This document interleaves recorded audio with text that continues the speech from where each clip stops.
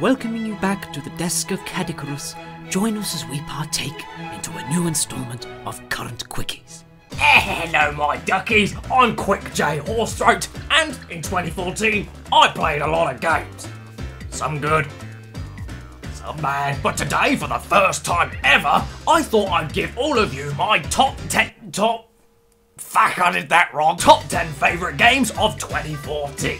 Now, some of the games you're going to be seeing in this list have been covered by myself, others have been covered by my good friend Caddicarus, and others I've never mentioned on this channel whatsoever.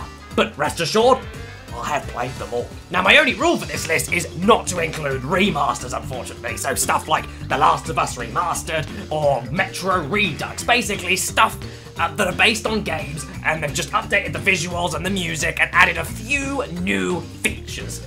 Other than that, the gameplay is exactly the same and everything else about the game is exactly the same. Games like that, I ain't counting. Anyway, with that being said, let's begin.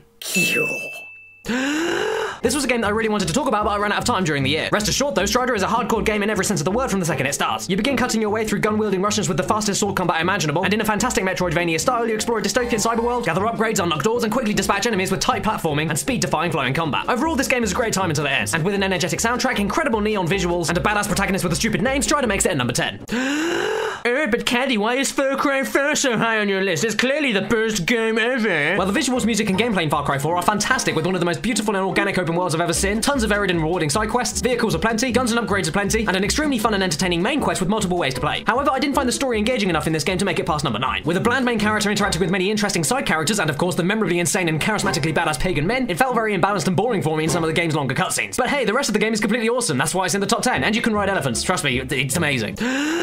Out of every horror game this year, PT is the one that scared me the most, and it's fucking free on PS4. PT may be just a demo, it may not be very long, and it may be overly cryptic when it doesn't really need to be, but for a game that gives you the ability to walk around, zoom into things, and nothing else, this game's atmosphere, psychological mind-screwing, and optional completely missable scares provide tons of replay value and new frights every single time you loop around those horrific corridors. Not to mention, it looks amazing and the sound design is impeccable. I've already done a video about this game, so I won't talk about it anymore, but rest assured, if you have a PS4, download this beast right now and see what you can find, and prepare to be scared.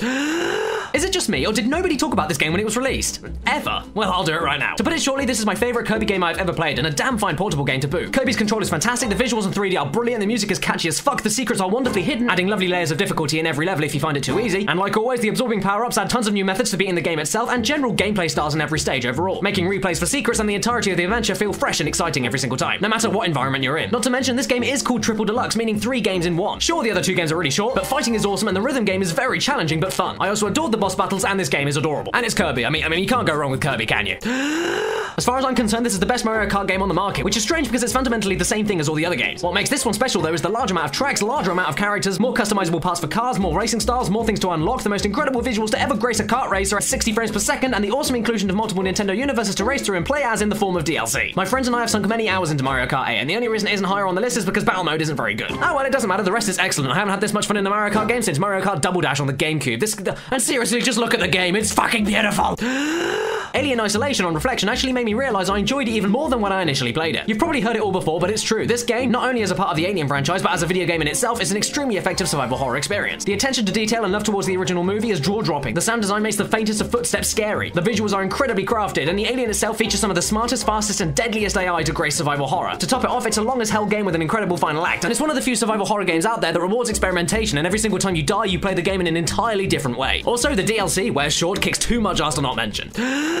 I'm not a die-hard Smash Brothers fan at all. Well, at least not to the point of paying $60 for a demo to a full game being released seven days later on the 3DS. I really don't get that. But Smash Wii U is an excellently crafted game indeed. Not only has this game provided me with hours of multiplayer epicness, but it's also given me more of the single-player epicness with thousands of challenges, missions, and rewarding unlockables. Of course, being Nintendo, the visuals, music, simple for casuals yet deep for professionals, gameplay, and incredible amount of content is all here and accounted for. But the sheer volume of customizable aspects to this game on every level makes this the best Smash game to date, bar none. And like Mario Kart 8, despite fundamentally being the same thing, this game packs so much of a wallet that it almost gives me no reason at all to pick up the previous entries. It, it fucking rocks. ah, Shovel Knight. Tons of YouTubers have gushed about this game, including me. So because of that, I won't say too much about it. But what I will say is that in this game, the presentation is marvelous, including some of the greatest music I've ever heard in a 2D platformer. The controllers drop dead perfect, and the level design is what sets this game apart from the rest. Throwing new challenges, enemies, explorative secrets, and obstacles at you with the greatest difficulty increments and utmost grace as possible. Every sprite and object you see on screen is there for a reason, whether it be for secrets or challenges. And any and all mistakes are all down to you and you alone. The boss battles as well are all memorable, extremely well thought out, and badass. In fact, this whole game is badass. If you if you haven't got this game yet, I don't know why you haven't got it yet.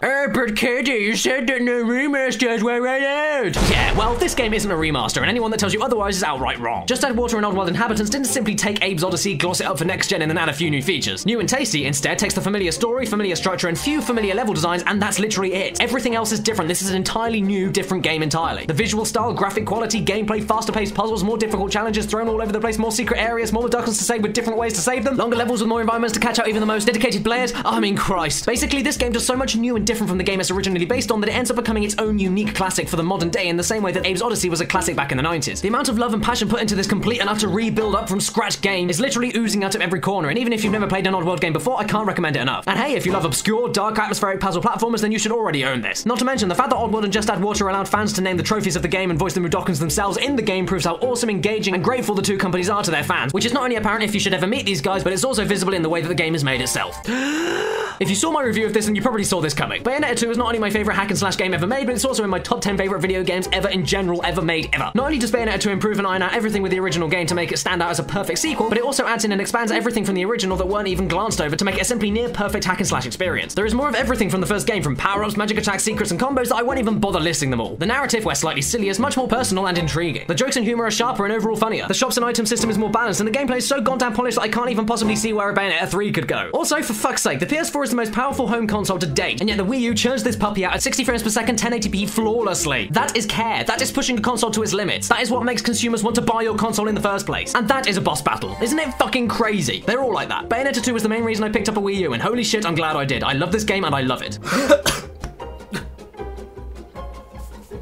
And there you have it, everyone. My top 10 personal favourite games of 2014. Now, please leave all of your comments and all of your thoughts and all of your personal top 10 favourite games of 2014 because this was only my list after all. And I'll be seeing you all very shortly. Have an amazing 2015, everyone. Hope you had a good holidays. Hope you had a good New Year's. Hope you had a good life. And I'll be seeing you soon. Ta-ra!